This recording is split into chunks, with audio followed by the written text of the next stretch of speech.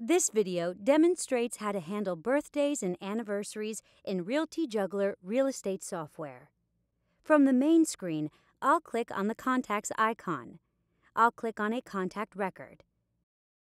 I have a birth date and a wedding anniversary. I'll also add in a child's birthday for Sally and put the year she was born in parentheses. I can also add a closing anniversary.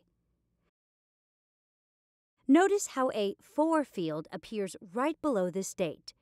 I'll use this blank field and enter the address and date of purchase. I can have as many as nine annual dates associated with each contact record in RealtyJuggler. You can add these annual dates to your calendar by clicking on the blue drop down arrow to the left of the birthday or anniversary and selecting Add to Calendar. I can then look at the appointment by clicking on the blue double arrow to the right. This is the appointment record, and I can click on the alarm checkbox if I want an email notification. Let's go to the All Tasks screen to take a look at our tasks. From the Show Category drop down in the upper right, I'll select B Day or Anniversary. Now I can see my birthday and anniversary reminders. I like to send my birthday cards once a week, so I'll select the tab at the top of the screen which displays only the tasks that are due within the next seven days.